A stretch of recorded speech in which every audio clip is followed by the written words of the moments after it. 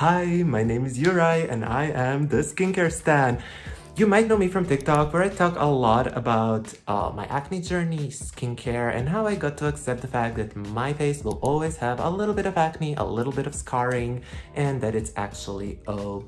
Okay, so today I want to talk about something really important when it comes to skincare and that is how long do you have to wait to see those results from your favorite skincare products. Now, I know, I know, we're all impatient. We all want instant results. We want to throw on a cream and overnight and wake up like with glossy, glowy skin. However, the reality is, you know, physics. It's not gonna happen. It's just not real. So if somebody's telling you on TikTok, like showing you an overnight transformation, it's a filter, baby. Moving away from TikTok and moving into reality, and that is you in your bathroom doing your skincare. I wanna tell you that your skin needs time. And I would recommend somewhere between four and eight weeks for your skin to actually reap those benefits of your new skincare products. Now your skin is on a perpetual cycle. It renews itself. And that renewal process takes about 28 days or a little bit less or a little bit more depending on your age. And if you just put on a new product and use it for a couple of days and then stop, you're not going to let your skin grow and evolve with the new product that you just bought. It's just going to be a waste of your time and unfortunately money. Now, how are you going to know whether your skincare product isn't working or whether you maybe have irritation. Your skin might break out a little or you might not see a significant improvement. However, if you like see redness or if your skin feels like it's burning from applying your products, then you know it's time to stop. Now, for me personally, what I like to do is always introduce one new product at a time. I never use like three new products at the same time because in the case I have irritation or a reaction to one of them, I am not going to know which one of these products is causing that. You're probably going to get a couple new products and going to introduce it and try to see where it takes you. So what I'm telling you, you know, do it one by one, give it four to eight weeks and see what happens. However, this is not the case for every single product. Now I'm going to tell you which part of your routine requires a longer time investment to see if it works and which parts of your routine you can figure out after one or two use if they're right for you. So let's go over it. Let's start with cleansers. Now, cleansers are super important. We all know that. We love cleansing. However, when it comes to cleansers, they can be quite harsh and quite stripping. If they are stripping, your skin barrier is going to get disbalanced and you might get breakouts, irritation, redness, rosacea, and all kinds of other things you do not want. So the good thing when it comes to cleansers is that you're going to immediately know if they are too harsh. If the cleanser is too harsh, you're going to feel that really tight, uncomfortable. I mean, I bet you felt it. You're going to know that feeling of just feeling your skin like it's going to crack that's not a good thing. That is a thing that the cleanser is too stripping for your skin type and that you should look for something a little bit more gentle. I recommend always looking for something without like SLS or other ingredients that are known to be very stripping, unless you're like really oily and need that cleansing boost. But for most people, that's going to be too harsh.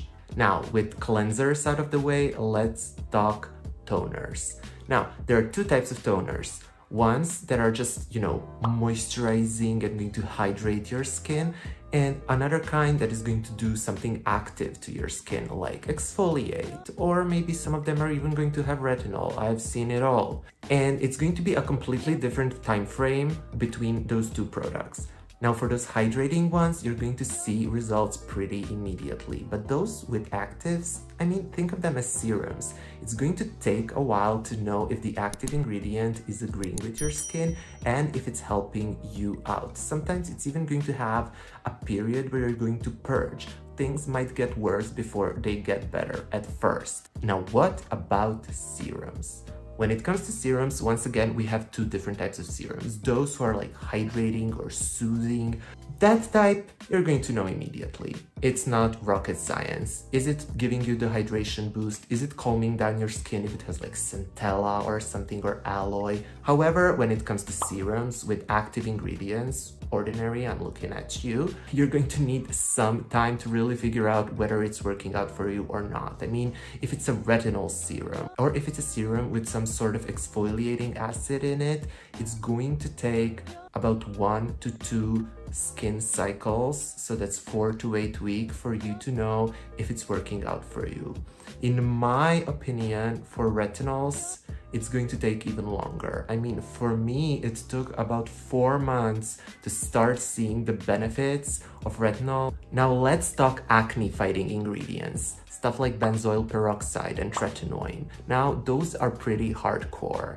I mean, they're not for everyone. You have to remember that. You're gonna have to talk to your dermatologist and see if they're right for you. However, when done properly, they can start working in four to 12 weeks, even more in some cases. In my case, when I was on retinol, when I was on benzoyl peroxide, it took about six months. So sometimes you just have to be very, very persistent. And I know it's hard. I know those initial breakouts really affect you and you might feel sad, you might feel worried, but if there is no excess irritation, I say you stick it out and see where it takes you. And I think, you know, through skincare, it's a great way to learn patience too, because the results are so visible. Now, let's talk moisturizers. It is usually the final step in our evening routine, and it is something we use to really lock in all those good ingredients that we've just put on our face and make sure our skin is nice, supple, and moisturized. However, for moisturizers, it can be a struggle to find the one that is right for you. And this is because it is especially important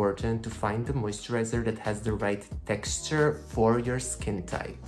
So sometimes it takes really four to five tries to find that one moisturizer that's going to like nicely sink into your face, that is going to make you moisturized and glowy but not over oily, that's going to give you the hydration boost that you need and not leave you dried out. So I think that for moisturizers, it takes about two weeks to really see if it's breaking you out, if it's giving you any sort of bad reaction, if it's giving you blackheads, because sometimes moisturizers can give you blackheads.